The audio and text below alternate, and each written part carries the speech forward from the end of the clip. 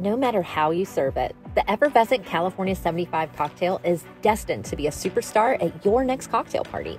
This recipe celebrates some of the best ingredients that the Golden State has to offer, like lemons. Did you know that California grows 90% of the nation's lemons? It's true. California is also known for its incredible wines like the dry vermouth and sparkling wines that pair together to make this cocktail so incredibly delicious.